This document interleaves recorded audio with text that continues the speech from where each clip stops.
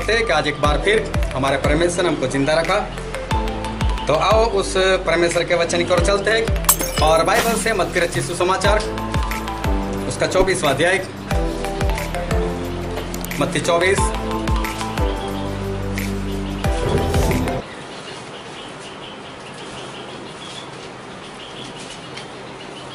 और हम पढ़ेंगे उनतीस से लेकर इकतीस तक। मत्ती चौबीस, उनतीस से इकतीस। उन दिनों के क्लेश के तुरंत बाद सूर्य अंधियारा हो जाएगा और चंद्रमा का प्रकाश जाता रहेगा और तारे आकाश से गिर पड़ेंगे और आकाश की शक्तियाँ हिलाई जाएगी। तब मनुष्य के पुत्र का चिन्ह आकाश में दिखाई देगा और तब पृथ्वी के सब फूलों के अ, सब फूलों के लोग छाती पीटेंगे और मनुष्य के पुत्र को बड़ी सामर्थ्य और ऐश्वर्य के साथ आकाश के बादलों पर आते देखेंगे। वह तुरही के बड़े शब्द के साथ अपने दूतों को भेजेगा और वे आकाश के इस छोर से उस छोर तक चारों दिशाओं से उसके चुने हुओं को इकट्ठा करेंगे। परमेश्वर पिता का वचन हमारे बहुत ही आशीषित है और परमेश्वर पिता का वचन सच्चा है और बाइबल में लिखा है यदि सच्चाई को जानोगे तो सच्चाई तुम्हें आज़ाद करेगी। हालेलुया। आज एक बार फिर सभी लोग बहुत ध्यान से इस वचन को सुनना ताकि परमेश्वर जो बात हमसे करना चाहते वो कर सके आप उसको सुन सको उसको ग्रहण कर सको और विशेष करके उसके अनुसार चलकर स्वर्गराज के वारिस बन सको।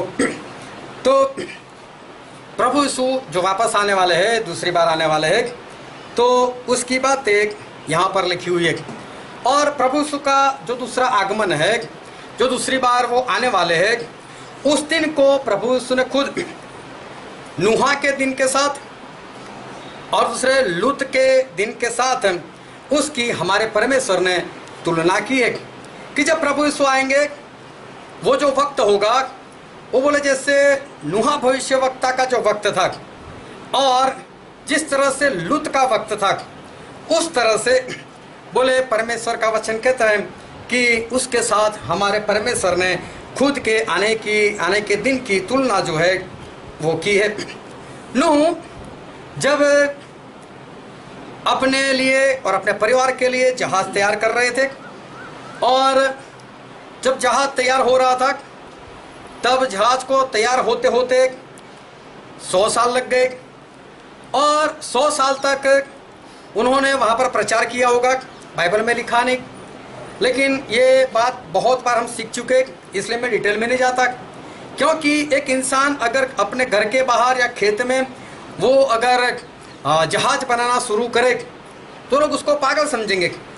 क्योंकि जहाज़ जो है, वो समुंदर के किनारे बनता है। क्योंकि जहाज़ बहुत बड़ा होता है। अगर आप उसको यहाँ वडोदरा में कहीं पर बना दो, और फिर आप सोचो कि अभी समुद्र के किनारे ले जाओ तो कैसे ले जाओगे? तो ऐसा नहीं हो सकता। एक वो फैब्रिकेटर था। तो उसको टेबल बनाना था। किसी ने नाप दिया ऐसा टेबल बनाओ। मालूम उसको धूप लगती थी, क्या हुआ, क्या नहीं। लेकिन उसने अपने कमरे में बना दिया टेबल बनाने को तो बन गया, जब बाहर निकालने लगा तो पता चला, ये दरवाजे से तो बाहर नहीं निकलता। उसे दरवाज़ा तोड़ दिया। तो पागलपन बोलते हैं ना इसको। तो लोगों ने देखा होगा है कि तो पागलपन कर रहे तो लोगों ने बोला का नू को, कि नू, ये पागलपन बंद कर। तब नू ने बोला होगा नहीं ये कोई पागलपन नहीं है। बरसात आने वाली है। तब तक बरसात नहीं थी। किसी ने बरसात शब्द नहीं सुना था, देखा नहीं था। अरे, कौन सी बरसात? अरे बोले बादल आएँगे। अरे, ऐसे कैसे आएँगे? और लोगों की समझ में नहीं आया। और लोगों ने नू को पागल समझा। सौ साल तक नुआ का ठट्ठा किया। और आखिर में जहाज़ बन गया। नू और उनका परिवार उस जहाज़ में चले गए और बाकी जो बाहर थे, वो सभी लोगों का नाश हो गया। फिर प्रभु उसने कहा कि मेरे आने का दिन और लुत के वक्त के समान है। तो लुत के वक्त में क्या हुआ कि परमेश्वर वो सदोम और अमोरा में गए और ज़्यादातर लोग ये समझते हैं कि वो स्वर्गदूत थे। लेकिन सदोम और अमोरा में खुद परमेश्वर गए थे। वहाँ पर स्वर्गदूत नहीं गए थे लेकिन वो परमेश्वर खुद गए थे। और हम एक वचन पढ़ते हैं उत्पत्ति का पुस्तक उसका अठारह अध्याय और उसका पहला और दूसरा वचन। अब्राहम ममरे के बांज वृक्षों के बीच कड़ी धूप के समय तंबू के द्वार पर बैठा हुआ था। हम्म। तब यहोवा ने उसे दर्शन दिया। हाँ। उसने आँख उठाकर दृष्टि की। यहाँ पर लिखा यहोवा ने दर्शन दिया और नूह ने जब आँखें उठाकर देखा तो हाँ सॉरी अब्राहम ने जब आँख उठाकर देखा हम्म? तो क्या देखा? हाँ। कि तीन पुरुष उसके सामने खड़े हैं। तीन पुरुष। यहोवा परमेश्वर यहोवा ने दर्शन दिया। और अब्राम को कितने लोग दिखाई दिए? तीन। तीन दिखाई दिए। तीन के तीन कौन है? पुरुष है। तीन के तीन पुरुष दिखाई। ये तीन परमेश्वर है जो हम त्रिएक परमेश्वर बोलते हैं। यहोवा परमेश्वर दूसरे हाँ? परमेश्वर। पुत्र परमेश्वर। हाँ? क्या बोले? हाँ? प्रभु परमेश्वर। हाँ। यहोवा परमेश्वर पहले दूसरे वो भी यहोवा परमेश्वर? और तीसरे? वो भी यहोवा परमेश्वर यहोवा ने दर्शन दिया। और कितने लोग दिखाई दिए? तीन तीन दिखाई दिए। दर्शन किसने दिया? यहोवा ने। यहोवा का मतलब मैं हूँ। जीवन की रोटी में हूँ। किसने कहा? प्रभु से मतलब वो भी यहोवा है ना? पवित्र आत्मा सच्चाई का आत्मा। वो भी कौन? मैं हूँ। मतलब वो भी यहोवा। ये यहोवा परमेश्वर है। और यहोवा परमेश्वर दिखाई दिए तो ऐसा लिखा है कि अब्राम को तीन लोग दिखाई दिए तो तीन ही थे फिर उसका उन्नीसवा अध्याय और उसका पहला वचन पढ़ो तो। साँझ को वे दो दूत सदोम के पास आए। हाँ फिर से पढ़ो। साँझ को हाँ। वे दो दूत वे दो दूत। वे मतलब कौन से? दो हाँ हम क्या करते अठारह अध्याय पढ़कर रख देते फिर उन्नीस का उन्नीसवा अध्याय दूसरे दिन पढ़ते। तो याद नहीं रहता। लेकिन तीन लोग दिखाई दिए थे। तीनों तीन यहोवा थे। अभी वो उनमें से दो दूत हो गए। वे दो दूत मतलब आ, अगर आप अठारह अध्याय पढ़ोगे तो लिखा है कि एक यहोवा वो अब्राहम के साथ रुक गए और बाकी के दो सदोम की ओर चले गए। बाद में जो यहोवा थे जो अब्राहम के साथ रुके थे उन्होंने अब्राहम के साथ बात की कि मैं तो इस सदोम और अमोरा का नाश करने वाला हूँ। तो क्या हुआ? उनमें से दो मतलब दो यहोवा वो वहाँ पर चले गए। सदोम और अमोरा के। लेकिन अब यहाँ पर ये दोनों के लिए जो शब्द लिखा है वो है दूत। फिर से पढ़ो एक। साँझ हम्म, साँझ को वे दो दूत? हाँ। जब दूत शब्द आता है तो इसका एक मतलब होता है मैसेंजर जो मैसेज लेकर जाने वाले। तो एक यहोवा ने बाकी दो लोगों को बोला जाओ वहाँ पर आग बरसानी है। तो आप लोग वहाँ पर चले जाओ। इसलिए वहाँ पर उनके लिए शब्द लिखा दूत। लेकिन दूत का मतलब पंख वाला नहीं जो मैसेंजर मैसेज लेकर आने वाले लोग। वह है तो वो भी परमेश्वर। और इसलिए कोई गुजराती में पढ़ो उन्नीस का चौबीस वचन। तब यहोवा ने सदोम और उमरा के ऊपर हम्म, गंधक और आग यहोवा के पास से आकाश से बरसाए क्या लिखा है? तब यहोवा ने सदोम और मोरा के ऊपर आकाश से यहोवा के पास से, एक यहोवा ने, दूसरे यहोवा के पास से सदोम और अमोरा के ऊपर आग और घंतक बरसाई तो यहाँ पता चलता है वो दूत नहीं थे। लेकिन मैसेज लेकर गए, इसलिए वो दूत, स्वर्ग दूत नहीं थे। तो ये भी कौन थे? परमेश्वर। ये इसलिए मैं बोल रहा हूँ कि आज का मैसेज का जो आधार है, वो यही है। अभी क्या हुआ? इन लोगों ने लुत को बाहर निकाल दिया। और लुत को बाहर निकालने के बाद बाकी जितने भी बचे, उन सभी लोगों का क्या कर दिया? सभी लोगों को आग से वहाँ पर जला दिया। बाकी सारे लोग नाश हो गए। अब हमारे परमेश्वर वो आने वाले हैं। जो हमने वचन पढ़ा था तो अभी हमारे परमेश्वर आने वाले और वो कब आएँगे? सात साल के महाक्लेश के बाद। एंटी क्राइस्ट का राज खत्म होने पर होगा, क्योंकि प्रभु यीशु खत्म करेंगे। उस वक्त हमारे प्रभु यीशु आएँगे क्लेश काल के बाद। ये मैं इसलिए बोल रहा हूँ कि ज़्यादातर लोग जो है, वो ये बात मान नहीं रहे। उनको ऐसा है कि नहीं, क्लेश काल के पहले परमेश्वर आएँगे और अपनी मंडली को उठाकर लेकर जाएँगे। लेकिन बाइबल में कहीं पर भी ऐसा कोई भी वचन नहीं जो ऐसा स्पष्ट करता हो कि क्लेश काल से पहले प्रभु यीशु आने वाले। क्योंकि जो मत्ती और चौबीस वचन हमने पढ़ा तो वहाँ पर ऐसा हुआ था कि वो लोग यरूशलेम में घूम रहे थे। तो चेलों ने बताया कि देखो प्रभु, क्या बड़ी बड़ी बिल्डिंग है, ये देखो सुलेमान का भवन, सब कुछ कितना बढ़िया है। तो प्रभु यीशु ने तुरंत बोल दिया कि एक पत्थर के ऊपर दूसरा पत्थर नहीं रहेगा। फिर तीसरे वचन से ऐसा लिखा है कि चेलों ने प्रभु यीशु को पूछा कि प्रभु यीशु, आपका दूसरा आगमन और संसार का अंत, ये दोनों एक दिन है, वो कब होने वाला है? तो फिर उसके बाद तीन से लेकर, अगर आप चौदह वचन तक पढ़ोगे तो वहाँ पर ऐसा लिखा है, भरमाने वाले आएँगे, झूठे मसीहा खड़े होंगे, धरती कंप होगे, अकाल पड़ेंगे, प्रजा प्रजा के विरुद्ध, राज्य राज्य के विरुद्ध, देश देश के विरोध में लड़ाइयाँ होगी लड़ाई की अफवाह चलेगी। मेरे कारण लोग तुम्हें सताएँगे, तुम्हें जेल में डालेंगे। ये सारी बातें प्रभु उसने बताई, जो चौदह वचन पर खत्म होती है। फिर वहाँ से एक पैराग्राफ पढ़ता है। और मत्ती चौबीस और पंद्रह से लेकर अट्ठाईस वचन पढ़ोगे तो वचन है एंटी क्राइस्ट के लिए। कि उसके बाद में एंटी क्राइस्ट खड़ा होगा। मसीह का विरोधी खड़ा होगा। और मसीह का विरोधी खड़ा होगा तो परमेश्वर ने बोला, वो अति भयानक से दिन है। आप लोग भाग जाना। अगर खेत में हो तो वापस घर पर मत आना। अगर टेरेस के ऊपर है तो नीचे कपड़ा लेने के लिए मत आना। वहीं से ही भाग जाना। ऐसा बहुत कुछ प्रभु उसने कहा, जो 28 वचन तक है। फिर हमने पढ़ा उनतीस से। तो देखो, तीन से लेकर चौदह, जो धरती काम, मरी वगैरह जो सब कुछ होने वाला है वो, पंद्रह से अट्ठाईस, एंटीकास्ट के जो सात साल में जो होने वाला है वो लिखा है। और उसके बाद उनतीस वचन से हमने पढ़ा। तो कोई पढ़ो तो उनतीस वचन? उन दिनों के क्लेश के बाद इन दिनों के क्लेश के बाद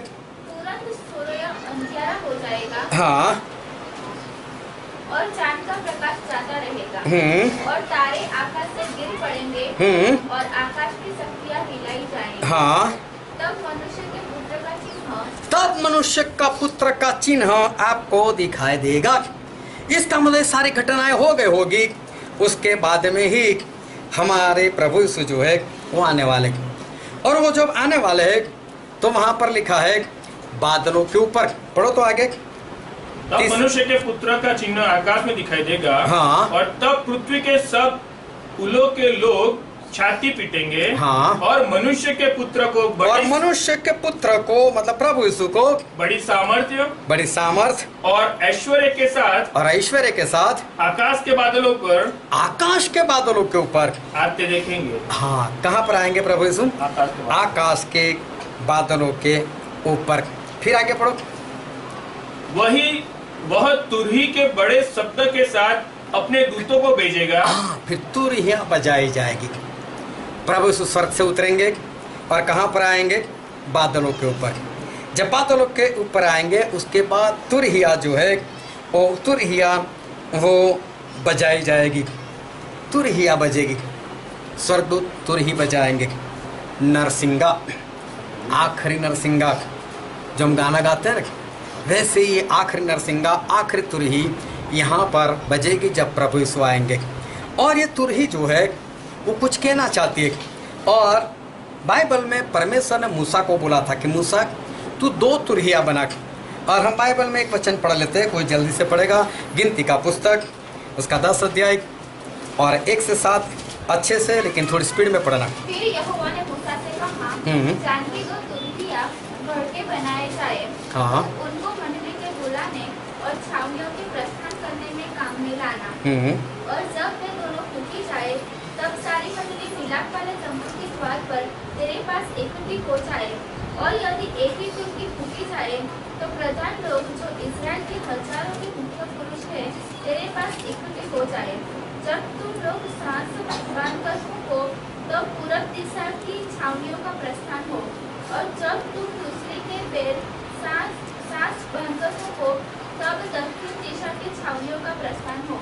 उनके प्रस्थान करने के लिए वे सांस बांधकर फूके और जब लोगों का इकट्ठा करके सभा करनी हो तब भी फूकना परंतु सांस बांधकर नहीं। हालेलुया। हालेलुया। यहाँ पर ये सात वचन अगर ध्यान से पढ़ोगे तो ऐसा लिखा है कि एक तुरही जब बजाई जाएगी तो उसका सुर कुछ अलग से होगा। वो सुर का आवाज़ सुनकर पता चल जाएगा कि लोगों को इकट्ठा होना है। ये चर्च में जो बेल बजाते हैं ना वो आइडिया यहीं से लिया हुआ है कि जब इसराइल लोगों को जब सभा के लिए इकट्ठा करना होता था तो एक तुरही बजाई जाती थी। वो आवाज़ सुनकर उनको पता चल जाता था कि हमको इकट्ठा होना है। और वहाँ पर परमेश्वर का दास जो कुछ बातें हमको बताएँगे तो लोग इकट्ठा हो जाते थे। और दूसरी तुरही जब बजाते थे तो उसका सुर कुछ ऐसा होता था कि लोगों को पता चल जाता था कि हमको अभी कुछ करना है। मतलब कि हमको किसी के ऊपर हमला करना है। तो सभी लोग जो भी अपना हथियार है, वो लेकर, जूते पहनकर, शस्त्र पहनकर, वो भाग निकलते चलो, कहाँ पर हमला करना है? किस पर हमला करना है? एक लड़ाई के लिए था। और एक इकट्ठा करने के लिए था। ये दो तुरही जो थी वो बारी बारी से मतलब जब जिसकी ज़रूरत हो उस तरह से वो बजाई जाती थी। तो यहाँ पर लिखा है कि जो वचन हमने पढ़ा वहाँ पर तुरही बजाई जाएगी। और जो वचन हमने पढ़ा था मत्ती चौबीस और इकतीस वचन पढ़ो तो। वह तुरही के बड़े शब्द के साथ हम्म। अपने दूतों को भेजेगा। हाँ। और वे आकाश के इस छोर से उस छोर तक चारों दिशाओं से उसके चुने हुओं को इकट्ठा करेंगे। हाँ मतलब वो तुरही बजाई जाएगी कि जो लोगों को इकट्ठा करने वाली तुरही है लेकिन यहाँ पर क्या लिखा है कि वो तुरही बजेगी और जो परमेश्वर के चुने हुए लोग हैं उनको स्वर्ग उठा कर लेकर जाएँगे। इसका मतलब सभी को इकट्ठा नहीं होना है सिर्फ़ जो परमेश्वर के लोग हैं बस उनको ही इकट्ठा करना है। तो यहाँ पर ऐसा नहीं लिखा कौन सी तुरही लेकिन तुरही बजाई जाएगी। इसका मतलब दोनों तुरही यहाँ पर बजने वाली। कुछ लोग होंगे जो परमेश्वर में होंगे, उनको इकट्ठा होने वाली तुरही सुना देगी। मेरा मसीह आ गया, चलो भागो। इकट्ठा हो जाएँगे। और बाकी के लोग भागो। ठीक है, सारे कुल वाले छाती पीटेंगे। क्योंकि उनको तो डर लगे तो लड़ाई के लिए बुला रहे इसके सामने कैसे लड़ने के लिए जाएगा?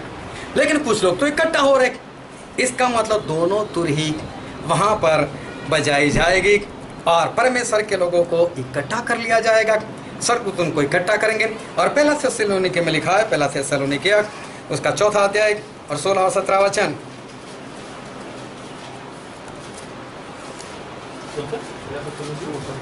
चार का सोलह सत्रह। क्योंकि प्रभु आप ही स्वर्ग से उतरेगा उस समय ललकार और प्रधान दूत का शब्द सुनाई देगा। और परमेश्वर की तुरही फूकी जाएगी। और जो मसीह में मरे हैं वे पहले जी उठेंगे। तब हम जो जीवित और बच्चे रहेंगे। उनके साथ बादलों पर उठा लिए जाएँगे। कि हवा में प्रभु प्रभु से मिले। हाँ ये तुरही फूकी जाएगी। और परमेश्वर के लोग परमेश्वर के साथ उस आकाश के बादल में इकट्ठा हो जाएँगे। स्वर्गदूत जो है उस तरह से हमें परमेश्वर के पास इकट्ठा करेंगे। लेकिन लुका में लिखा है उसका सत्रह अध्याय और उसका उनतीस और तीस वचन।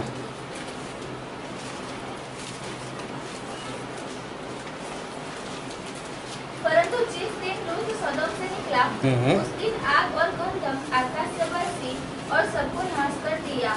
मनुष्य के पुत्र के प्रकट होने के दिन भी ऐसा होगा। ऐसा ही होगा। यहाँ पर लिखा है कि जिस दिन प्रभु यीशु आएँगे, ऐसा ही होगा। अभी देखो यहाँ पर यो दो बातें हमें नज़र आती हैं। एक नूह के ज़माने में और एक लुत के ज़माने में। नूह के ज़माने में जो नूह और उनका परिवार था, वो कहीं पर बैठ गए एक जगह पर। जहाज़ में। वो बचाए गए। और बाकी के लोग नाश हो गए। मतलब परिवार यहाँ पर इकट्ठा किया गया। और सारे पशु लोग भी एक एक जोड़ा जो था, वहाँ पर इकट्ठा कर लिया गया। और बाकी लोगों का नाश हुआ। तो लूत और उसके परिवार को भी बाहर निकाला। उनको बचाया गया। वो भी इकट्ठा थे और दूसरे जो लोग इकट्ठा थे उन सभी लोगों का क्या हो गया? नाश हो गया। मतलब इधर भी कुछ लोग इकट्ठा हुए हैं, इधर भी इकट्ठा हुए इधर समझो कि बचने वाले तो इधर नाश होने वाले जो है, वो इकट्ठा है। तो इकट्ठा क्यों? और नाश क्यों क्यों? परमेश्वर ने नूह और उनके परिवार को इकट्ठा किया? क्यों परमेश्वर ने लूत और उसके परिवार को एक किया? और क्यों परमेश्वर ने नूह के सिवा बाकी के जितने लोग थे, उनका नाश कर दिया? और क्यों परमेश्वर ने लूत के परिवार को छोड़कर बाकी जितने लोग थे, उनका नाश कर दिया? अभी बहुत ध्यान से परमेश्वर के वचन को समझना। क्योंकि आज ज़्यादातर तो संजय भाई बोल ही चुके हैं लेकिन फिर भी ध्यान रखना कि परमेश्वर आज हमसे बहुत बड़ी बात करने के लिए जा रहे हैं। और हम पढ़ते यूँ हन्ना उसका सत्रह अध्याय। और उसका इक्कीस वचन। कि वे सब एक हो हम्म। जैसा तू है पिता मुझमें है हम्म। और मैं तुझ में हूँ हम्म। वैसे ही वे भी हम में हो जिससे संसार विश्वास करे कि तू ही ने मुझे भेजा है। हाँ अब इस ध्यान से समझना प्रभु उसे यहाँ पर प्रार्थना कर रहे और प्रार्थना में ऐसे शब्द बोल रहे कि, हे पिता, जिस तरह से मैं आप में हूँ, आप मुझमें हो, उसी तरह से ये सारे जो लोग हैं, मेरे लोग जो है, वो भी हम में हो। मतलब प्रभु यीशु पिता में, पिता प्रभु यीशु में, और हम लोग उन दोनों के अंदर उस तरह से प्रभु यीशु यहाँ पर प्रार्थना कर रहे फिर से अच्छे से पढ़ो इसको धीरे धीरे से। कि वे सब एक हो। हाँ वे सब एक हो मतलब इस धरती के ऊपर जो परमेश्वर के दास लोग हैं जो परमेश्वर के विश्वासी लोग हैं उनकी बात की है। वो लोग एक हो। जैसा तू है जैसे परमेश्वर आप हो। पिता मुझमें है। हाँ जैसे आप मुझमें हो। और मैं तुझ में हूँ। और मैं पिता आप में हूँ। वैसे ही वे भी हम में हो। वैसे वो भी हम में हो। देखो प्रभु यहाँ पर एक एकता की बात कर रहे। और एकता जो है वो बाइबल में बहुत ही महत्वपूर्ण है। एक होना बहुत ही महत्वपूर्ण है। कई दिनों से एक होने के ऊपर ज़ोर दिया जा रहा है। एक होना बहुत ही ज़रूरी है। एक होना मतलब क्या? बाइबल में एक वचन पढ़ते हैं मत्ती उसका अठारह अध्याय और उसका उन्नीस और बीस वचन। फिर मैं तुमसे कहता हूँ हम्म। यदि तुम में से दो जन पृथ्वी पर किसी बात के लिए जिससे वे मांगे एक मन के हो तो वह मेरे पिता की ओर से स्वर्ग में है उनके लिए हो जाएगी। परमेश्वर ऐसा कहते हैं कि अगर तुम में से दो एक मन हो जाए एक चित्त हो जाए तो परमेश्वर ऐसा कहते हैं कि तो आप जो भी मांगो ऊपर से परमेश्वर देंगे। देखो एकता का महत्व कितना है। अलग हो गए तो परमेश्वर बोलते हैं हो सकता है कुछ भी ना हो। लेकिन अगर आप धरती पर आप दो लोग किसी बात के लिए एक मन होते एक चित्त होते और फिर मांगते हो परमेश्वर से तो बोले परमेश्वर स्वर्ग में से तुमको देंगे। और दूसरा भी एक बात वहाँ पर बताया आगे पढ़ो। क्योंकि जहाँ दो या तीन मेरे नाम पर इकट्ठे होते हैं जहाँ दो या तीन मेरे नाम से इकट्ठा होते हैं वहाँ मैं उनके बीच में होता हूँ। प्रभु यीशु कहते हैं वहाँ मैं उनके बीच में होता हूँ। जहाँ दो या तीन मेरे नाम से इकट्ठा होते हैं वहाँ पर मैं हूँ। एकता का महत्व बहुत ही है। जब हम एक होते हैं तब परमेश्वर की उपस्थिति हमारे अंदर आती है। जब हम एक होते हैं तो परमेश्वर से जो मांगते वो हमको मिलता है। प्रभु यीशु कहते हैं कि हे पिता जैसे तू मुझमें और मैं तुझ में वैसे ये लोग हम में हो। ये एकता है। एकता कैसी है? मैं आपको आ, कुछ बताना चाहता हूँ दूध वाला हालेलुया हालेलुया केसिया गई केसिया बाहर चलो बैठ बैठ बैठ कोई बात ये क्या है नहीं ग्लास के अंदर. ग्लास तो है. सभी सोच समझ कर जवाब देते हैं. ये क्या है? ग्लास हाँ दूध का गिलास नहीं. दूध. पानी पानी. इसमें दूध भरा हुआ है। समझो ये पिता परमेश्वर है। ये कौन है? पिता पर अभी देखो मैं उसमें कुछ डाल रहा हूँ। क्या डाला? पानी। पानी डाला। मुझे दिखाओ इसमें पानी कहाँ है और दूध कहाँ है। हाँ? एक हो हो गए ना? हाँ। प्रभु सु कहते हैं जैसे पिता मुझमें है मैं उनमें हूँ। ये इसको बोलते एक। क्या बोलते हैं इसको? एक। एक। दूध का रेट कितना है? हम्म? रुपीज़ हाँ। साठ रुपये साठ साठ रुपये में एक, एक लीटर। आपको मालूम है प्योर है कि नहीं? नहीं। आपको मालूम है? एक बात है नहीं इधर देखो। आपको मालूम है क्यों दूध प्योर है कि नहीं? नहीं। मतलब प्योर है? प्योर नहीं है हो सकता है उसमें पानी मिलाया हो। तो पानी की कीमत भी कितनी देते हो? हाँ चाहे जितना भी पानी हो भी सिक्सटी रुपीज़ के हिसाब से देते हो। हालेलुया और एक चीज़ दिखाता हूँ।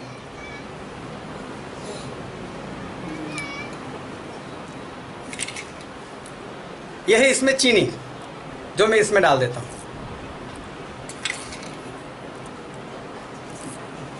ये चीनी क्या है? हम विश्वासी लोग। हालेलुया। हालेलुया। अभी चीनी क्या हो जाएगी? भूल जाए इसमें पिघल जाएगी। फिर उसके बाद ये तीनों को अलग करना। तीनों की कीमत? तीनों की कीमत एक है। है ना? ये तीन एक हो गए। तीनों की कीमत एक। अभी समझ लो कि गलती से गलती से चीनी जो थी सही नहीं थी कोई सस्ते वाली थी। लेकिन उसका भी रेट तो बढ़ गया ना अभी। पानी तो है ही सस्ता। उसका भी तो रेट बढ़ गया।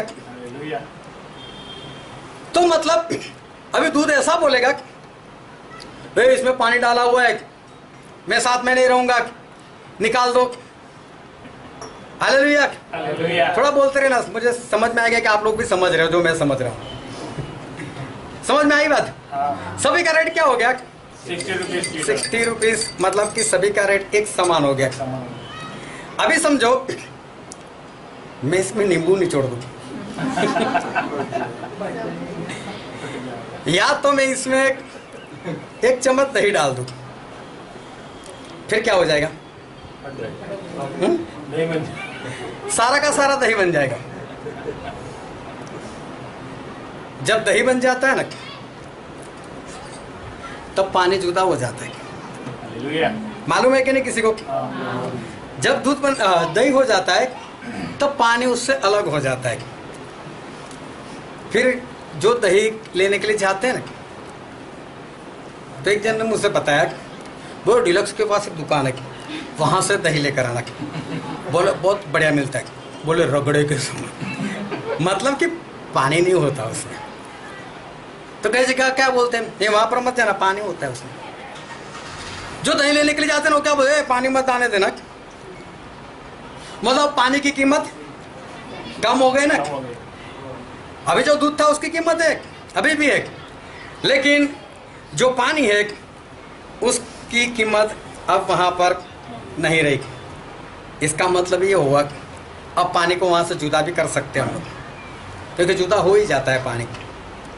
जब रिश्ते में खट्टापन आ जाता है ना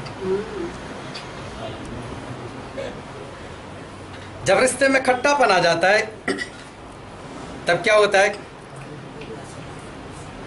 उसमें जो पानी होता है, अलग भी हो जाता है, उसकी कीमत भी कम हो जाती है। एकता जो रहनी चाहिए, वो रहती नहीं। लेकिन जब तक पानी चीनी, या दूध, ये तीनों साथ में है। इनके बीच में कोई लड़ाई झगड़ा नहीं। ओए मैं हूँ इसके लिए तेरी कीमत है। कोई कुछ नहीं बोलता कि। लेकिन जैसे ही रिश्ते में खट्टापन, अपने आप जुदा हो जाते हैं और उत्पत्ति में ऐसा लिखा है, उत्पत्ति का पुस्तक। उसका उन्नीसवा अध्याय और उसका पहला वचन। साँझ को वे दो दूत सदम के पास आए। शाम को वे दो दूत सदोम अमोरा में आए। ये कौन थे? दूत थे या परमेश्वर? ये तो परमेश्वर थे। फिर निर्गमन तीन का दो पढ़ो तो।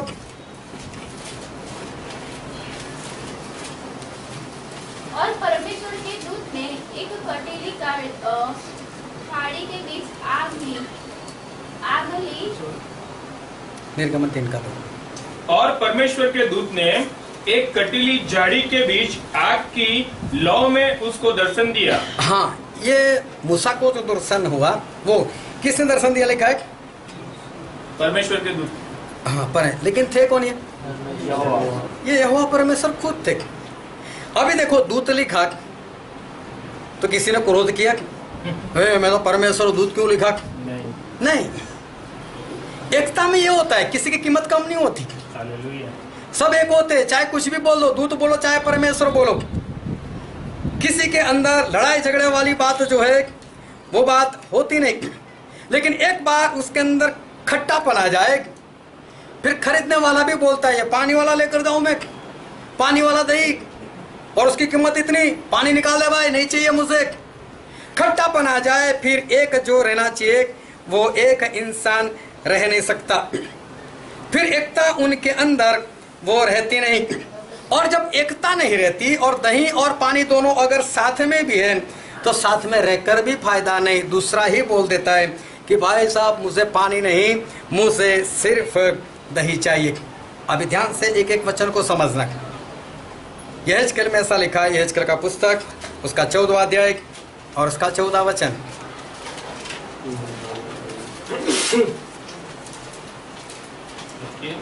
यह चौदह और चौदह। अब चाहे उसमें नूह दानियल अब चाहे उसमें नूह दानियल दानियल और अयुब और अयुब ये तीनों पुरुष हो। ये तीनों पुरुष हो। तो भी वे अपने धर्म के द्वारा तो भी वो अपने धर्म के द्वारा केवल अपने ही प्राणों को बचा सकेंगे। केवल अपने ही प्राणों को बचा सकते हैं। एक एक बात को ध्यान में रखना। सबसे पहले किसका नाम लिखा है? नूह। नूह धर्मी थे। उनकी पत्नी के बारे में कुछ नहीं लिखा, बच्चों के बारे में कुछ नहीं लिखा, बच्चों की पत्नी के बारे में भी नहीं लिखा। लेकिन थे एक ये लोग। एकता में एक थे, चाहे कैसे भी थे। लेकिन एकता में तो थे। लेकिन धर्मी कौन थे? सिर्फ़ नूह। तो नूह के कारण परमेश्वर ने उनकी पत्नी, उनके तीन बच्चे और उनकी भी पत्नी को बचा लिया। अयुब धर्मी थे, उनके कारण उनके सारे बच्चे बचा लिए गए। और तीसरा किसका नाम लिखा है? दानियल। दानियल दानियल की वजह से इज़राइल लोग जो है वो बचाए गए। लेकिन धर्मी थे दानियल अब परमेश्वर का वचन ऐसा कहता है अब वो बात पुरानी हो गई। पुराने जमाने में मैंने ऐसा कर दिया। लेकिन अब अगर नू होगा उसकी पत्नी नहीं बचेगी। उसके बच्चे नहीं बचेंगे।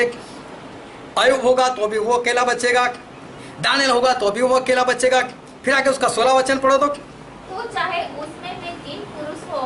हाँ। तो भी प्रभु यहोवा की यह वाणी है मेरे जीवन की सौगंध न वे पुत्रों और पुत्रों को और न पुत्रियों को बचा सकेंगे। वो तीन वापस उनकी बात की अभी नाम नहीं लिखा लेकिन वो तीन।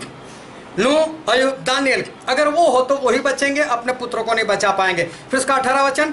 तब चाहे उसमें वे तीन पुरुष भी हो हम्म। तो भी प्रभु यहोवा की यह वाणी है मेरे जीवन की सौगंध न तो वे पुत्रों को और न पुत्रियों को बचा सकेंगे, वे ही अकेले बचेंगे। अभी देखो क्या लिखा है तीन तीन बार लिखा है, अब नो अयुब और दानियल ये तीन लोग किसी और को नहीं बचा सकते, वो अपनी धार्मिकता के कारण, अपनी आज्ञाकारी के कारण सिर्फ़ अपने आप को बचा सकते।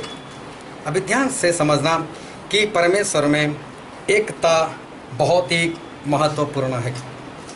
मसीह में एक होना, जिस तरह से प्रभु यीशु पिता में, पिता प्रभु यीशु में, और विश्वासी लोग, चेले लोग, उन दोनों के अंदर जिस तरह से हमने देखा, एक दूसरे के साथ घुल मिल जाते हैं तो उस तरह से एकता में अगर एक हो, उस तरह से अगर एकता में एक हो तो वो बहुत ही महत्वपूर्ण बात है।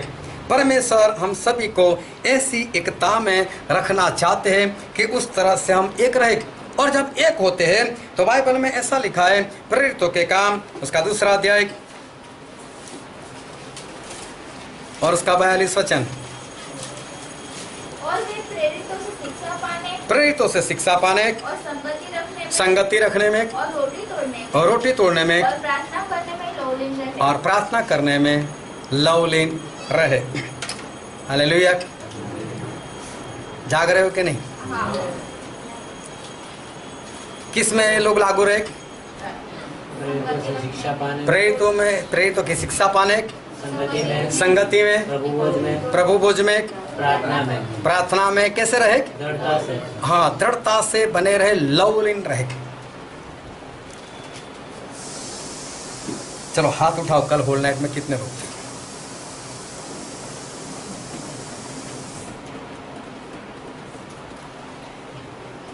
कैसा दिखता है? चलो अल्पेश भाई बाहर गए थे कल मोर भी थे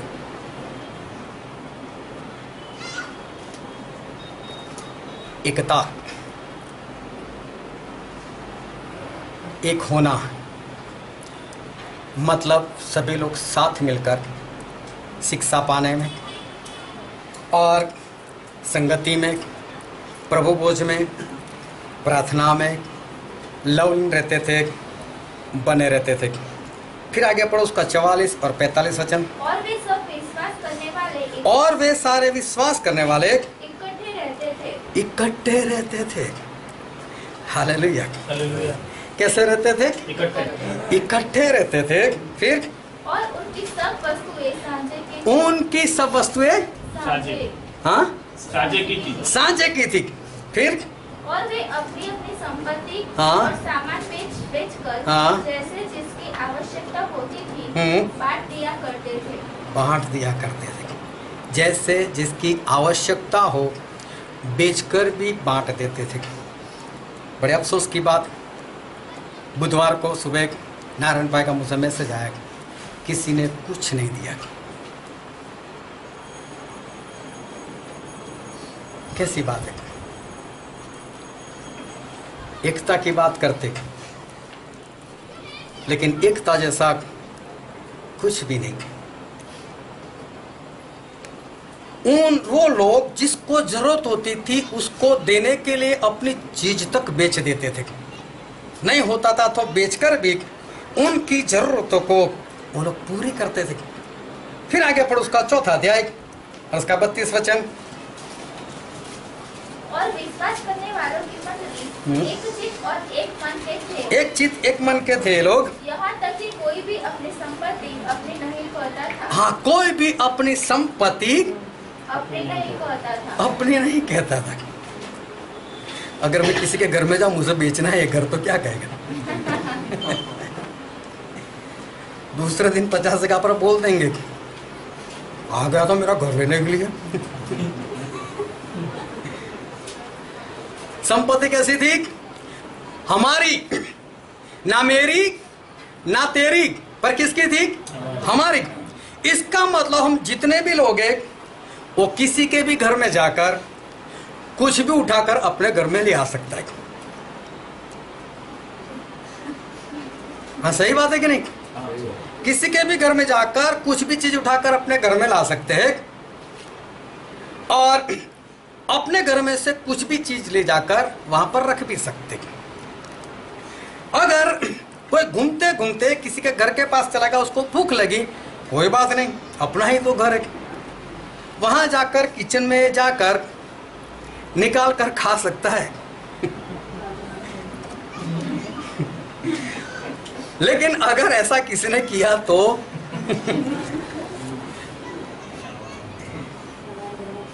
हालेलुया। मैं इसलिए बोलता हूँ आप में से कोई ऐसा नहीं होगा जो मेरे किचन में नहीं गया होगा। हाँ। और किसी ने मेरा फ्रिज खोल कर नहीं देखा होगा कोई नहीं होगा। हाँ मैं इसे ऐसे नहीं बोलता मैं। मेरे कहने का मतलब है कि एकता जो है वो हमारे परमेश्वर चाहते हैं। और एकता में हमें रहना है। एकता का मतलब ये है एकता का मतलब ना तेरा, ना मेरा, हमारा और प्रेरित लोग जो करते थे, वो सभी क्या बोलते थे? सही है। प्रेरित जो बोले बात? खत्म। वो पूरी, वो सही करता है। है ऐसी एकता क्या? प्रेरित जो बोले, वो बात पत्थर की लकीर। लेकिन उसी को कहते हैं एकता की। और ऐसे सारे लोग जो है, वो कहाँ पर चले जाएँगे? वो स्वर्ग में चले जाएँगे। और जो ऐसे नहीं है, वो कहाँ पर जाएँगे?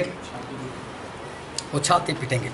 बहुत ध्यान समझना आज वचन परमेश्वर ने बहुत पढ़ा दिए जो एक मन है, जो एक चित्त है, वो सारे नर्क में चले जाएँगे। नहीं चौंक कर मत देखो। मैं सच कह रहा हूँ जो एक मन और जो एक चित है वो सारे नरक में चले जाएँगे। मसीह का विरोधी खड़ा होगा उसके पास अपना राज्य तो है नहीं। उसको कौन देगा राज्य? हाँ, वो लोग भी तो एक मन है वो भी तो एक चित है जितने जितने लोग मसीह के विरोध की मुहर लेंगे, वो लोग भी कैसे है? एक मन, एक चित। वो भी तो एक मन, एक चित है। हालेलुया। अब एक पास्टर साहब का मैसेज मेरे सुनने में आया।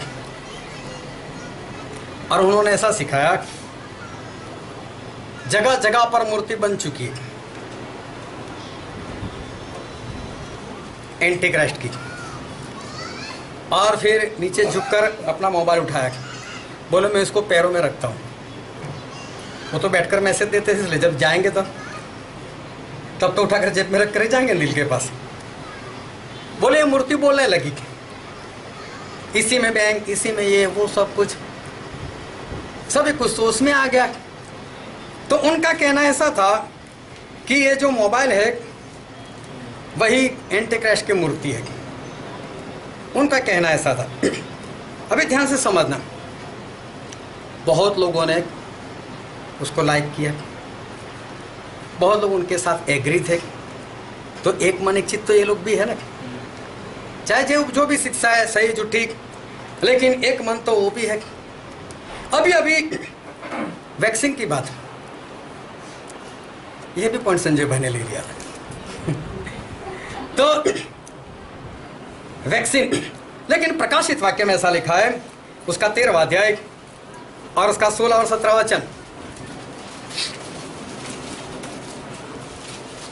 और उसने छोटे बड़े धनी कंगाल स्वतंत्र हम्म। दास सबके दाहिने हाथ का उनके माथे पर एक एक छाप करा ली हम्म। उसको छोड़ जिस पर छाप अर्थात उस पशु का नाम या उसके नाम का अंक हो और कोई लेन देन न कर सके? हाँ जिसके पास मोहर ना हो, उसके बिना और कोई लेन देन ना कर सके। अरे, बहुत गंभीर हो जाना सीरियस हो जाना, और बहुत ही गंभीर बातें चल रही है तो इसको ध्यान से सुन लेना। मसीह का विरोधी अभी तो हमारे सामने खड़ा होता हुआ हमने तो नहीं देखा। ना ही उसकी मुहर जो है, वो अभी तक नहीं देखी। लेकिन यहाँ पर मसीह के विरोधी की जो मुहर है, उसका जो निशान उसका जो छाप है, उसके बारे में ऐसा लिखा है जो नहीं लेगा, वो लेन देन नहीं कर पाएगा। मतलब लेगा वो लेन देन कर सकता है।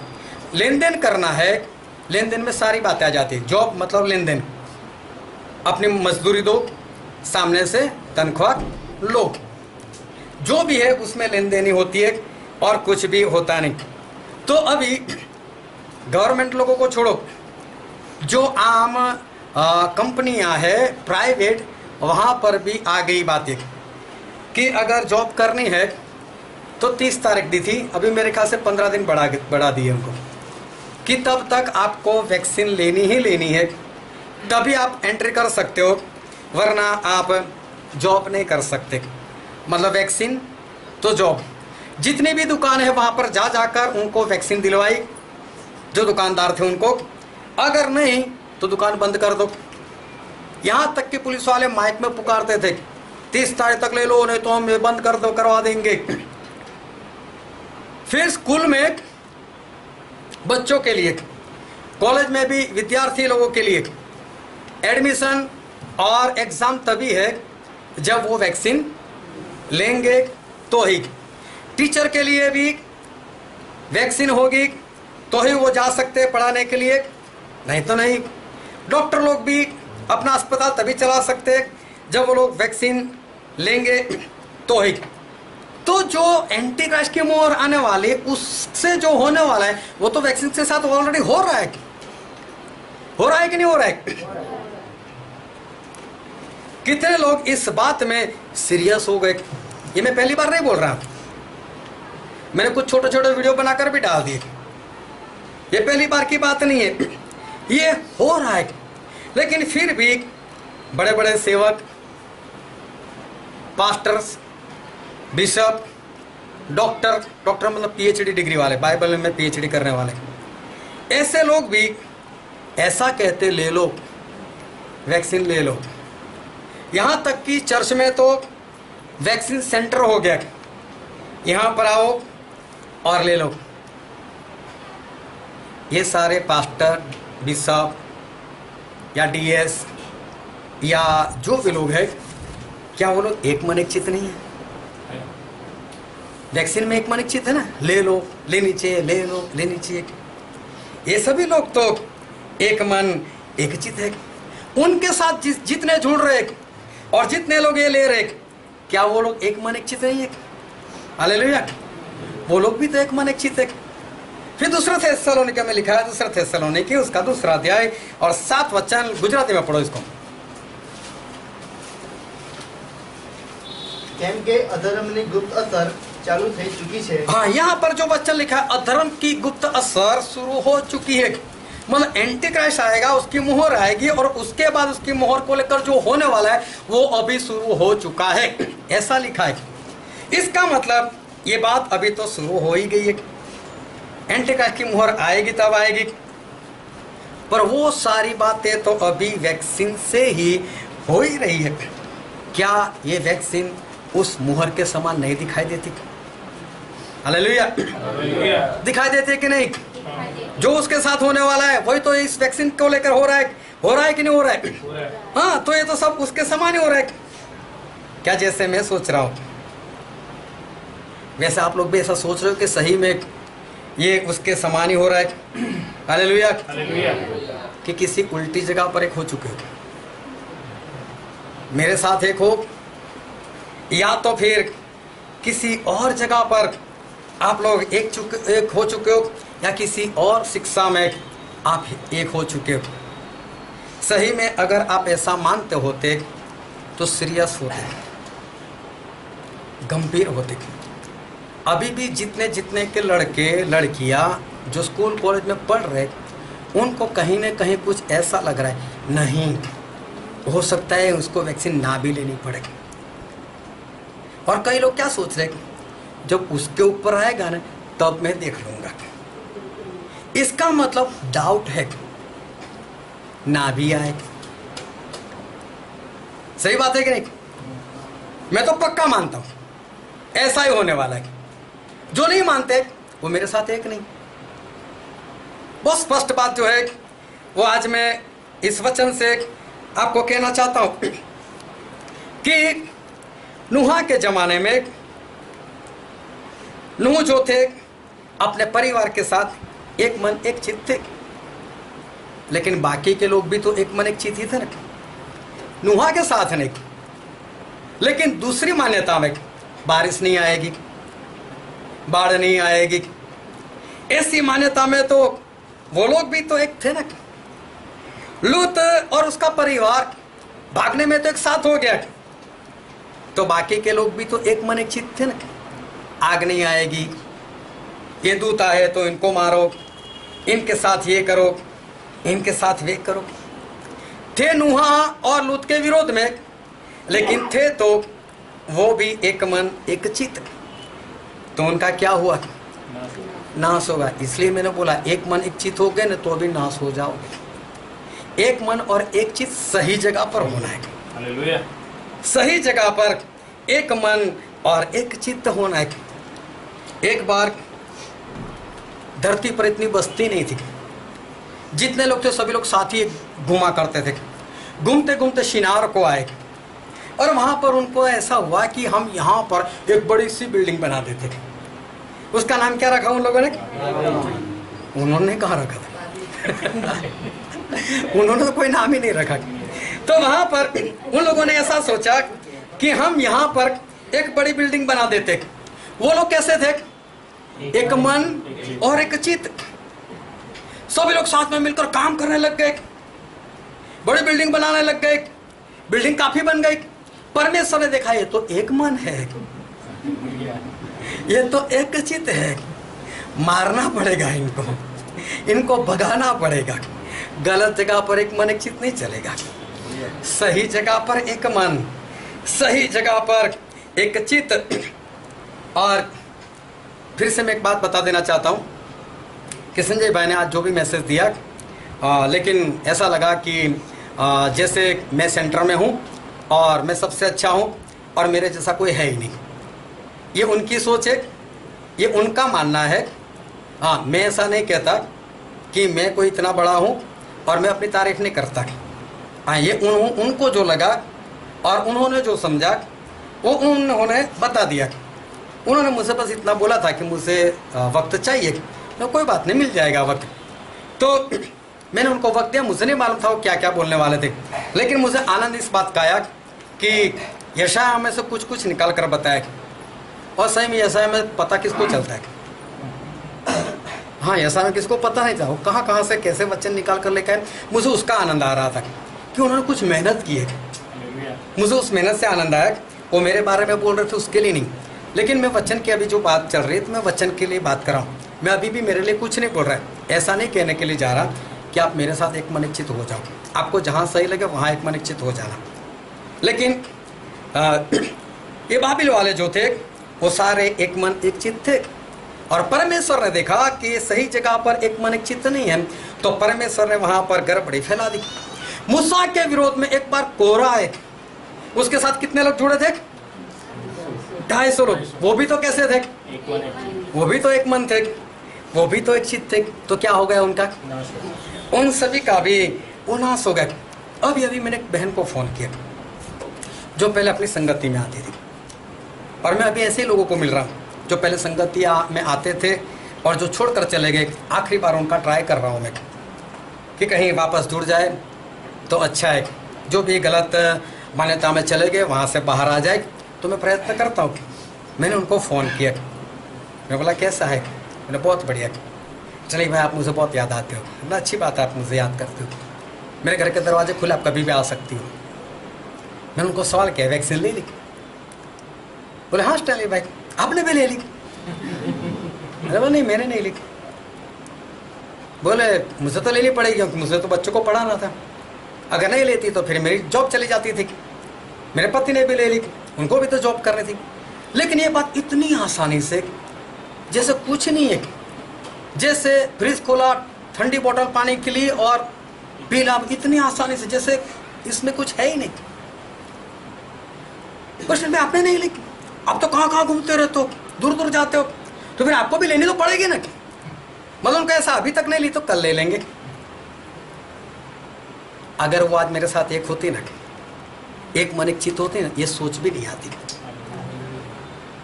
लेकिन एक मन नहीं है ना चले गए दूर। इसलिए अभी उनको ऐसी ये सोच जो है वो सोच आती है। बाइबल में एक वचन हमने पढ़ा एक बार फिर से पढ़ते उसको मत्ती उसका अठारह अध्याय और उसका उन्नीस और बीस वचन। तुमसे कहता हूँ हाँ। यदि तुम में से दो जन पृथ्वी पर किसी बात के लिए एक मन होकर उसे मांगे हम्म। तो वो मेरे पिता की ओर से जो स्वर्ग में है उनके लिए हो जाएगी। प्रभु यीशु कहते एक मन होकर मांगोगे तो मेरे पिता की ओर से मैं दे दूँगा। एक बार पत्रस जो थे वो पत्रस को जेल में डाल दिए गए। तो प्रेरितों के काम में ऐसा लिखा है प्रेरितों के काम उसका बारवा अध्याय।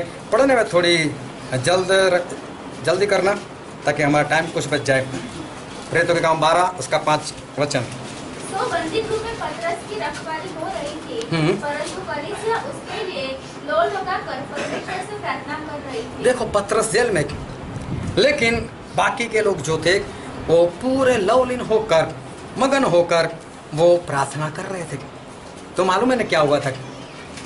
जब दो या तीन एक मन एक चित होकर प्रार्थना करते हैं तो परमेश्वर को ऊपर से नीचे आना ही पड़ता है। है। परमेश्वर आए पत्रस को छुड़ा भी लिया। और पत्रस वहाँ से आज़ाद हो गए। जब एक मन और एक चित होते तो परमेश्वर ऐसा काम करते। लेकिन उसका दूसरा तीसरा वचन पढ़ो तो। उसने यहूदा के भाई याकूब को तलवार से मरवा डाला। हम्म। और जब उसने देखा कि यहूदी लोग इससे आनंदित होते हम्म। हैं तो उसने पतरस को भी पकड़ लिया कि वे वे दिन अखमीर रोटी के दिन थे। हाँ ये लोग भी तो एक मन थे। पत्रस को भी जेल में डाल दिया याकूब को मरवा दिया। ये लोग भी तो एक मन थे। लेकिन देखो, जब जब इस धरती के ऊपर कोई एक मन, एक चित होता है तो परमेश्वर उसके लिए आते हैं। लेकिन सामने जो दूसरे लोग हैं विरोध में, वो भी विरोध करने में कैसे एक मन और एक चित परमेश्वर किसी को बचाते हैं तो किसी का नाश कर देते जब जब लोग एक मन, एक चित होते हैं, परमेश्वर वहाँ पर ज़रूर आते जब नू और उसका परिवार एक हो गया तो बाकी के लोग भी तो एक थे। लेकिन दोनों एक दूसरे के विरोध में थे। जहाँ नोआ का परिवार एक वहाँ बाकी के लोग भी तो एक थे। लेकिन उत्पत्ति में लिखा है उसका सातवां अध्याय उसका सोलह वचन।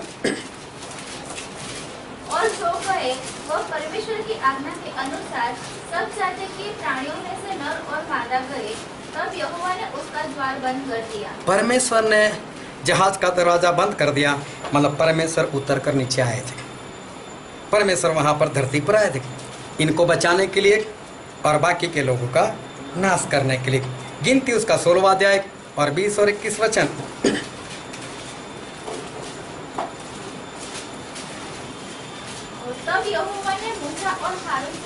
हम्म। उस मंडली के बीच में से अलग हो जाओ। हाँ परमेश्वर नीचे आ गए। मूसा और हारून को कहा अलग हटो कोरा लोगों से और और परमेश्वर बोलते मैं उनको पल भर में भस्म कर दूँ और ऐसा हुआ भी। एक मन, एक चित्त होना मतलब परमेश्वर को ऊपर से नीचे बुलाना। लेकिन जो विरोध में एक मन, एक चित्त हो गए, वो नाश हो जाएँगे। और जो परमेश्वर के साथ एक मन और एक चित्त हो, होंगे, उनको बचाने के लिए परमेश्वर पक्काएँगे जो वचन आज हमने पढ़ा था, मत्ती, उसका चौबीसवा अध्याय और उनतीस से इकतीस, वहाँ पर भी प्रभु यीशु के आगमन की बात की है कि प्रभु यीशु अपने स्वर्गदूतों के साथ तुरही की आवाज़ के साथ आने वाले, लेकिन ये प्रभु यीशु पहली बार नहीं आ रहे। बाबिल के वक्त प्रभु यीशु आए थे। एक वचन पढ़ लेते हैं उत्पत्ति उसका ग्यारहवा अध्याय। और पाँच वचन पढ़ो तो पाँच से। तब लोग नगर और घुमट बनाने लगे। तब इन्हें देखने के लिए यहोवा उतर आया। हाँ एक मन एक चित्त थे। तो परमेश्वर ऊपर से नीचे उतर आए सात वचन। इसलिए आओ हम उतर के उनकी भाषा में बड़ी गड़बड़ी कर गड़बड़ी डालें। हाँ देखा कि ये लोग एक मन एक चित्त लेकिन हमारे विरोध में बोले, गड़बड़ी कर दो इनके बीच में। चलो, हम उतरते उनमें गड़बड़ी कर देते तो प्रभु यीशु पहली बार नहीं आ रहे, जो दूसरी बार उनका आगमन है। वो समझ लो, पहली बार का नहीं है। ऐसे बहुत बार आ चुके बाबिल के वक्त प्रभु यीशु आ चुके संजय भाई ने बताया, वो तो हमारे ऐसे ही बात चल पड़ी। और हम लोग बैठे थे तो मैंने अपने मुँह से ये बात कह दी कि हाँ मैं सभी से दुखी हूँ। तो हमारी ऐसे बात जो है, वो मेरी और संजय भाई की ऐसे बात हो गई। उन्होंने उनको दिल पर ले लिया है तो मुझे मालूम नहीं, लेकिन मैंने तो मेरे दिल की बात जो थी, वो मैंने वो बता दी। अभी बहुत ध्यान समझना कि परमेश्वर ने इन पिछले दिनों में और पिछले दिन मतलब मैं पक्का बताता हूँ कि मार्च में, मार्च आधा चला गया तब परमेश्वर ने ऐसा बताया कि निकल अभी बहुत ध्यान समझना। अगर परमेश्वर ने मुझे बोला निकल तो क्या ये वचन सिर्फ़ मेरे लिए होना चाहिए? हाँ या ना? क्या ये वचन सिर्फ़ मेरे लिए होना चाहिए? ये वचन क्या सभी के लिए नहीं? जब परमेश्वर ने बताया कि एक बड़ी बाढ़ आने वाली है। तो क्या मेरे घर पर आएगी? हाँ या ना क्या आप सभी लोगों के घर पर नहीं आएगी बाढ़? जो परमेश्वर ने मुझसे बताया क्या वो सभी के घर के लिए नहीं है क्या परमेश्वर सिर्फ़ मुझे कह रहे कि ज़्यादा दिन तक चले, इतना इकट्ठा कर कर निकल जाए यहाँ से? क्या सभी लोगों के लिए नहीं? मुझे एक बात बताओ कि इनमें से कोई भी बात मैंने आप लोगों से छुपाई कि परमेश्वर ने मुझे ऐसा बोला? कोई है जिसको मैंने ना बताया हो ऐसा वो अपना हाथ उठा कर कह सकता है कि नहीं, मुझे नहीं बताया तो ये बातें तो मैंने सभी को बताई कि परमेश्वर ने इतना इतना मुझे बताया और परमेश्वर ने इतना इतना मुझे कहा। क्या ये सारी बात अगर मुझे स्पर्श करती है तो क्या आप लोगों के लिए नहीं है? पता है कि लोग क्या सोचते जब ऐसी परिस्थिति आएगी ना भाग कर स्टैनली भाई के घर चले जाएँगे। एक के पास नहीं, मैं तो सुन भी चुका हूँ। ऐसा कुछ होगा तो इसका मतलब ना भी हो सकता है। अभी ध्यान से समझना, जितने जितने लोग मुझसे दावे के साथ ऐसा बोल चुके हैं ना, कि हम एक मन के एक चित्त के मैं उनको सुनाना चाहता हूँ आज। नहीं हो आप मेरे साथ एक मन। बस स्पष्ट कहता हूँ, आप मेरे साथ एक चित्त नहीं हो। अगर होते तो ये बात नहीं आती कि अगर ऐसा मेरे साथ होगा तो मैं भाग कर वहाँ आ जाऊँगा। नुहा ने ना बोला था किसी को। मेरे जहाज़ में मत आना। सब भागे भी हो गए ना? दरवाज़ा खुला। ये तो उत्पत्ति में लिखा है। आप तो प्रकाशित वाक्य पर प्रचार करने वाले लोग। आप तो एंटी क्राइस्ट पर बड़ी बड़ी बातें सिखाने वाले लोग। अगर कोई झूठी शिक्षा दे तो आप हिम्मत करके वो "ए, ऐसा नहीं है ऐसा है। तो ये बात नहीं समझ में आती। ये नहीं पता चलता कि आप अगर ऐसा सोच रहे हो कि ऐसा कुछ होगा तो हम भागकर चले जाएँगे नहीं पहुँच पाओगे बहुत स्पष्ट सुन लेना नहीं पहुँच पाओगे मेरे दरवाजे तो खुले रहेंगे मेरी ओर से कोई मना नहीं लेकिन मैं पक्का बोलता हूँ कोई भी नहीं पहुँच पाएगा ना नुहा के जहाज़ में पहुँच पाया तो ना यहाँ पर कोई पहुँच पाएगा। ज़्यादा अंतर नहीं है। लेकिन फिर भी नहीं पहुँच पाएगा। एक वचन हम पढ़ते हैं सबोपदेश उसका पहला अध्याय उसका नौ वचन।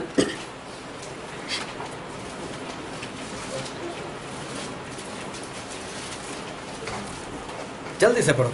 जो कुछ हुआ था जो कुछ हुआ था वही फिर होगा। वही फिर होगा। और जो कुछ बना बन चुका है जो कुछ बन चुका है वही फिर बनाया जाएगा। वही फिर होगा और सूर्य के नीचे कोई नहीं और इस धरती के ऊपर कोई बात नई नहीं है।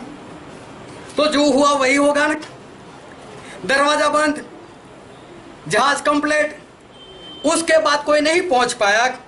तो ये मत समझना, अभी कुछ नया हो जाएगा। ये सारी बातें इसीलिए लिखी गई कि वक्त से पहले आप लोग वहाँ पर पहुँच जाओ तो ठीक है, वरना उस वक्त कुछ भी नहीं होगा। क्या आप में से है एक दो उनको छोड़कर कोई मेरे पास आया? स्टैनली भाई, फ़िक्र मत करना। मैं आपके साथ हूँ। किसी ने मेरे कंधे पर हाथ रखकर कहा, मैं तो बोल रहा था, मैं भाग रहा हूँ, मैं जा रहा हूँ। वडोदरा से 30-40 किलोमीटर की दूरी पर मैं जगह देख रहा हूँ। सभी को मालूम है कि मेरे बैंक में कितना बैलेंस है। सभी को ये भी मालूम है किसके घर का खर्च कितना होता है। बहुत ध्यान समझना और आज भी मुझे किसी से कुछ नहीं चाहिए, लेकिन सिर्फ़ सुनना मैं जो कहना चाहता हूँ कि किसने आकर मुझे ऐसा हौसला दिया कि स्टैनली भाई मैं आपके साथ हूँ? हाँ ऐसा बोलने वाले मुझे मिले। हंसकर, क्या बिंदु में चिंता कर रहा आप तो बहुत फ़िक्र करते हैं। अरे, परमेश्वर सब कुछ कर देंगे। नंगा दरवाजे पर आएगा, गर्म हो जा भूखा है तेरा पेट भर जाएगा, मैं प्रार्थना करता हूँ ना दो रोटी दी दो कपड़े दिए विश्वास की करनी की बस ऐसे ही हाँ परमेश्वर कर देंगे, आप परमेश्वर कर देंगे। तो मुझे नहीं पता चलता है कि लोग कैसी बातें कर रहे और मुझे क्या सुनाने का प्रयत्न कर रहे तू भी तो देख रहा है परमेश्वर तो है, लेकिन तूने क्या किया जब तूने सुना तो क्या किया सोना, चांदी नाक से उतार दिया, कान से उतार दिया, गले से उतार दिया, तिजोरी में से बाहर निकाला। बुरे वक्त में काम आएगा। बुरा वक्त आएगा, नहीं काम आएगा। परमेश्वर का वचन मना करता है, सफाना में लिखा हुआ है। इसके पहले अध्याय में। कि बुरे वक्त में आपका सोना जो है, वो आपके काम में नहीं आएगा। किसी ने आकर ऐसा बोला, स्टैनली अभी तो पहनते ही नहीं हम लोग। ये ले लो। जितने भी पैसे आए आप अपने घर में लगा दो जाओ। हम सब तो एक है। हम सब तो एक मन है, एक चित है। आज भी उसको संभाल कर वो रखा हुआ है। ध्यान समझना, ये सुनकर भी कोई मत लाना मेरे पास। मैं स्पष्ट कहता हूँ, मुझे चाहिए इसलिए नहीं बोल रहा। मुझे चाहिए ही नहीं। मैं मांग भी नहीं रहा। मुझे ज़रूरत भी नहीं है। मैं सिर्फ़ ये बताना चाहता हूँ कि जो बोलते ना कि मैं आपके साथ एक मन, एक चित्त तो नहीं हो बस। मैं आज एहसास दिलाना चाहता हूँ। और एहसास भी इसलिए दिलाना चाहता हूँ कि कल वो ग्लास में हमने जो देखा ना उस समान सब हो जाएगा। हाँ मैं इसके लिए बोल रहा हूँ। सुना नहीं रहा हूँ मैं। हो सकता है सारे लोग बचाए जाए। लेकिन मैं कहना चाहता हूँ कि अभी तक नहीं हुआ ऐसा। कोई भी दृढ़ होकर मेरे पास नहीं आया कि वैक्सीन को लेकर ऐसा ऐसा सब हो रहा है तो स्टैनली भाई क्या होगा? हम क्या करें? सभी को ऐसा है, कुछ तो हो ही जाएगा हमारा। उनको ऐसा नहीं लगेगा हमारे पर आएगा ही आएगा। सभी बिंदा से जीवन जी रहे। उनको ऐसा है कि कुछ नहीं होगा। जिस दिन आ पड़ेगी, वो ध्यान समझ तक जितने लोग आज तक बेपरवाह है, लापरवाह जब आएगा ना, आप लोगों के ऊपर मैं दावे के साथ कहता हूँ, लिख कर देना चाहता हूँ, आप वैक्सीन लोगे। आप वैक्सीन अवश्य लोगे। और जो नहीं लेंगे ना, वो पहचान से झूठा सर्टिफिकेट भी बना देगा।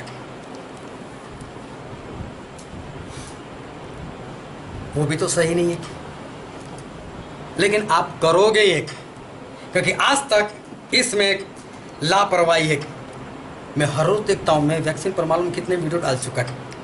क्योंकि मुझे डर लग रहा है मेरा डर नहीं, मेरे परिवार का नहीं, हमको तो परमेश्वर ने मरने के लिए भेजा मरने वाले और हमारी तो हर रोज प्रार्थना ही है कि परमेश्वर क्या है, मार दो ना, ले जाओ ऊपर बात खत्म करो।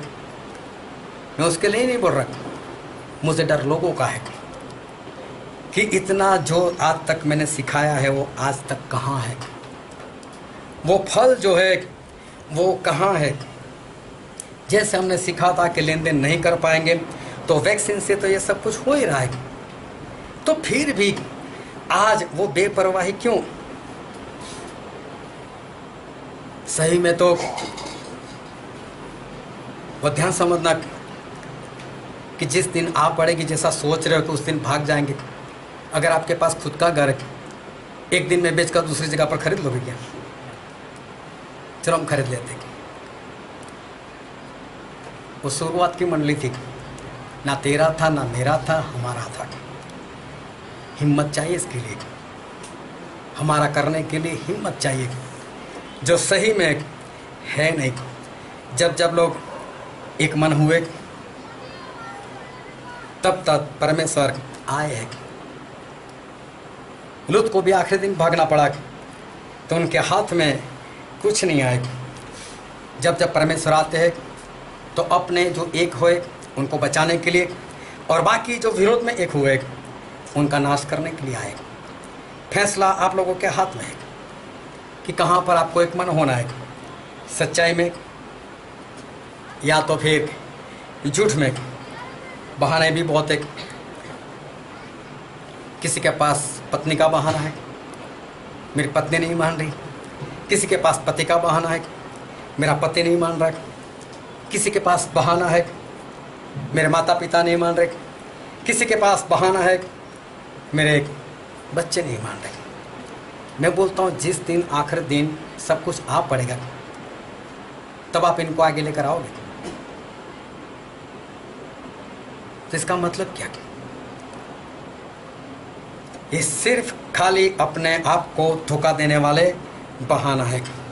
मैं फिर से एक बार कहता हूँ कि मुँह से आप लोगों के पास से ना कोई सोना चाहिए, ना चांदी चाहिए, ना आपके पैसे चाहिए, ना मैं ये चाहता हूँ कि आपका घर बेचकर आप मुझसे पूछ दो।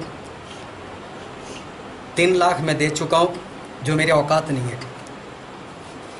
और जब जब मैं देकर आता हूँ मेरे खाते में कहीं ना कहीं से पैसे आ जाते। कहीं से भी छानबीन कर कर देख लेना अगर मैंने किसी को बोला हो, मेरा इतना खर्च है, मुझे पैसा चाहिए। लेकिन परमेश्वर ने बोला है जैसे जैसे देने पड़ेंगे, मैं तुझे देता रहूँगा। और इसलिए मैं कहता हूँ, मुझे तो नहीं चाहिए। मुझे चाहिए नहीं मेरा होने ही वाला है और होगा ही मुझे पूरा विश्वास है कि मुझे कुछ नहीं चाहिए इलिया का परमेश्वर, वही मेरा परमेश्वर है। वो इलिया को बोलते, जा विधवा के पास। तो विधवा को भी बोलते, इलिया को तेरे पास भेज रहा हूँ। मेरे लिए होगी ऐसी विधवा मेरे लिए हो गए ऐसे लोग, कौवे लोग। क्योंकि ना आप कौवे हो, ना विधवा हो। ना आपको परमेश्वर ने बोला है। लेकिन मेरे परमेश्वर ने मेरे लिए लोगों को बोला है। और जब वो आता है, मुझे इतना आनंद आता है, मैंने तो बोला नहीं, कहाँ से आया? मैंने तो बोला नहीं, कहाँ से आया? एलिया के परमेश्वर आज भी ज़िंदा है। और इसलिए सही में परमेश्वर मेरा सब कुछ करते बाइबल में लिखा है यहोवा मेरा चरवा है। मुझे कोई घटी नहीं होगी। The Lord is my shepherd I say need not नहीं ज़रूरत है। मुझे ज़रूरत तो सिर्फ़ एक की, और वो है मेरे परमेश्वर। हाँ आपकी ज़रूरत नहीं है। मेरे कहने का मतलब ये है, पैसों के लिए नहीं है। लेकिन आप परमेश्वर में खो जाओ आप बचाए जाओ ऐसी ज़रूरत तो मुझसे है। आप बच जाओ बस। सही जगह पर एक मन इच्छित हो जाओ जिस वक्त मैं घर से निकला था या मुझे निकाला गया था, मेरे पास कुछ नहीं था। आज जो भी है, परमेश्वर की कृपा से बहुत कुछ है। पिछले दिनों में हमारा मिक्सर बिगड़ गया। कई बार रिपेयर करवाया उसको। रिपेयर कराने वाले ने बोला, देखो, अभी कुछ होगा ना तो इसमें बड़ा खर्च आएगा। कोई बात नहीं। उसी वक्त मुझे कहीं पर जाना हुआ। और उन्होंने मुझे बड़ा एक ऐसा पैकेट जो है मुझे गिफ्ट में दे दिया। मुझे तो मालूम नहीं था क्या है। होगा कुछ। घर पर आकर देखा तो मिक्सर था। पर मैं उसको बोल दिया, अभी बिगड़ेगा ना तो इसको ज़्यादा खर्च आने वाला है। ऐसे तो बहुत सारी गवाही मैं उस गवाही कहने के लिए नहीं खड़ा रहा। मेरे कहने का मतलब है, मैंने परमेश्वर को चक्कर जाना है कि मेरे परमेश्वर वो भले है। वो नू के वक्त उतरे वो बाबिल के वक्त उतरे वो लुत के वक्त भी उतरे, वो कोरा के वक्त भी उतरे। एक बार फिर मेरे प्रभु वो उतरने वाले। तब आप कौन से साइड होंगे आप कहाँ पर एक मन चित्त होंगे? जो बचाए जाने वाली जगह है वहाँ पर? यहाँ तो दूसरे लोगों के साथ है। आप अपनी जगह जो है, वो तय कर लो। सही जगह पर एक मन चित हो जाओ। ताकि बचाए जाओ। उस तरह से कि ना दूध में से कोई पानी निकाल सके, ना दूध और पानी में से कोई चीनी निकाल सके। सभी की कीमत एक समान हो जाएगी। इसी तरह से एक जगह पर जो सही जगह है, वहाँ पर एक मन हो जाओ, क्योंकि प्रभु यीशु बहुत जल्दी वो उतरने वाले हैं और तब सारे कुल छाती पिटने वाले हैं। लेकिन प्रभु के लोग वो तो ही सुनने वाले हैं कि जो इकट्ठा करने वाली हैं और स्वर्गदूत उनको इकट्ठा कर कर ऊपर लेकर जाने वाले। कहाँ पर एक होना, कहाँ पर एक मन होना, वो आपके हाथ में है। आप समझदार हो, वचन जानते हो, आपको जो भी करना है, आप आज़ाद हो। आओ, हम हमारे आँखों को बंद करें और हमारे मस्तकों को प्रभु से आगे झुकाए, जो हमारे जीवित परमेश्वर है, जो कभी ना बदलने वाले परमेश्वर है। मेरे प्रियो, आखिरी वक्त आखिरी वक्त का भी आखिरी हिस्सा चल रहा है। और बहुत जल्द प्रभु से एक बार फिर उतरने वाले। क्योंकि उनके लोग एक मन एक चित हो चुके हैं। जो उनके लोग उनमें एक मन एक चित है, उनको लेने के लिए, और जो विरोध में एक मन और एक चित है, उनका नाश करने के लिए वो आ रहे हैं। ये पहली बार नहीं हो रहा है। ऐसा बार बार हो चुका है। आपको कहाँ पर एक मन होना है, कहाँ पर एक चित होना है, वो आप जानते हो। परमेश्वर आपको आशीष देगी। आमीन।